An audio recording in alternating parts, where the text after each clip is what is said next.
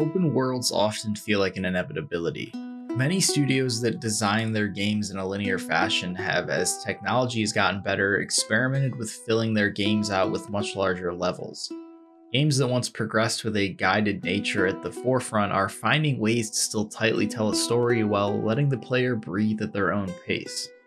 This had first been explored by Naughty Dog as early as 2003 in Jak 2 and a year later in Jak 3 but as they began exploring how far storytelling can be taken with Uncharted Drake's Fortune, they tightened up their level design. It stayed that way until 2016 when some experimentation began in Uncharted 4's open Madagascar region.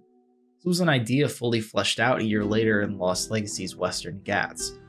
It allowed the player for just one level to take the order in which they do some optional tasks into their own hands. Linear narrative driven games come with an expectation that the story being told will not stray too far off course with side objectives at the risk of negatively affecting pace. The story as it is acted out will follow the plot in a mostly straight line. Opportunities to create even more depth in the world can come in the form of collectibles, lost notes, trinkets, and environmental cues. You'll find that one of the common misconceptions about narratives in video games is that everything important happens in cutscenes. If you were to watch only cutscenes of most of today's movie esque games, you would lack most of the pieces necessary to fairly assess what's been made. It had become apparent when many of The Last of Us Part 2's most defining moments were leaked that too many people were still not aware of where most of the important parts of telling stories in video games happen, in between the cutscenes and thus the irreversible mischaracterization of a game's narrative began. How well what happens in a cutscene lands can heavily depend on the natural conversations and gameplay moments that take place on your way from point A to point B.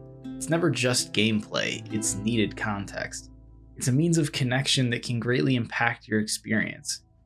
You're only appreciating it subconsciously because such a good job has been done immersing you past it.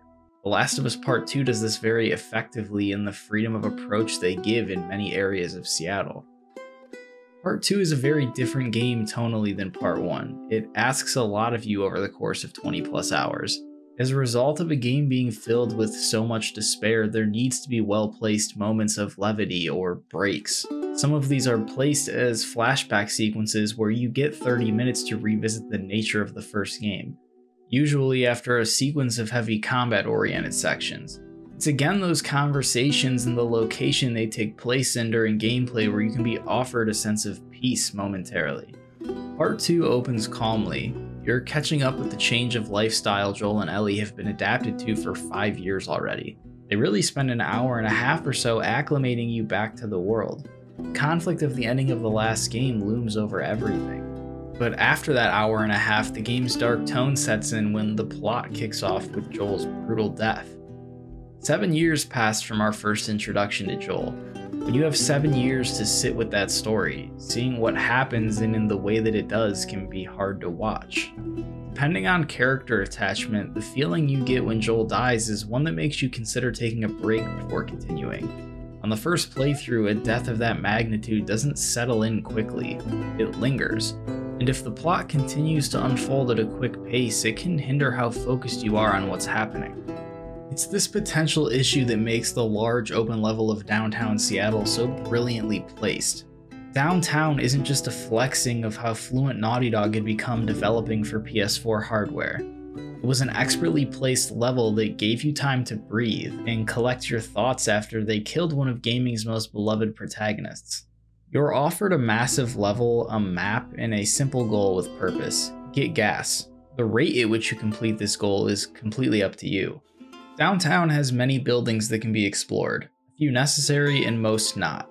The entire outside section has no hostility, no infected, no WLF, no scavengers, nothing. It's just the environment, ambience, Ellie and Dina, and enough content to clear your head.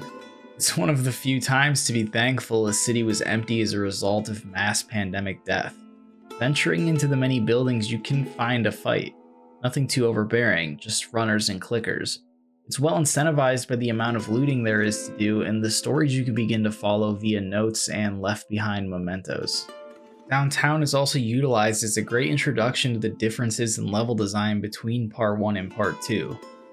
The Last of Us Part 1 still had some freedoms in your ability to explore an entire street. Part 2 still guides you to one destination, however, the route in which you take to get there and approach starting combat encounters on the way is infinite. The downtime in this section of Seattle Day 1 was used as a mourning period for both Ellie and the player.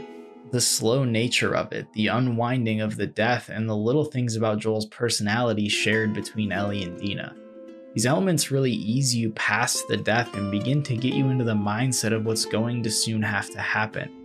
Joel's death is just the beginning of a story that only gets darker. Easing you into what can't be stopped is the most important thing that happens in downtown Seattle. The record store is the moment where you are made ready. The symbolic nature of the guitar in part 2 leads the way. Ellie finding a guitar in the store and proceeding to play a sampling of Future Days feels like the moment where she fully settles into her harsh reality. Joel isn't coming back, but he exists in the tools he left her, the most instrumental being their connection through music. As soon as Ellie finished playing Take On Me and set down the guitar to keep moving, it felt like that chapter of the story and our given time to mourn was over.